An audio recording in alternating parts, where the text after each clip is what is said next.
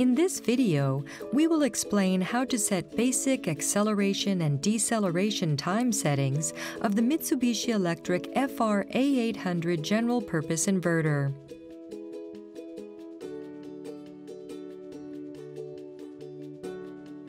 Parameters 7 and 8 are for setting the motor acceleration and deceleration time.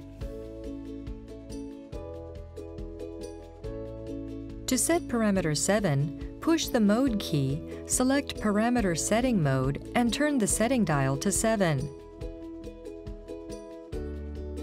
Parameter 7 sets the acceleration time from when the motor starts until it reaches the reference frequency.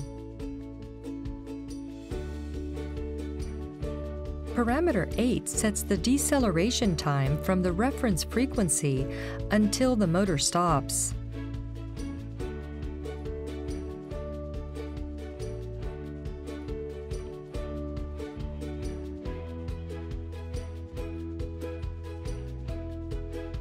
This setting adjusts the acceleration and deceleration times by lengthening the time for gradual acceleration or deceleration and shortening the time for rapid acceleration or deceleration.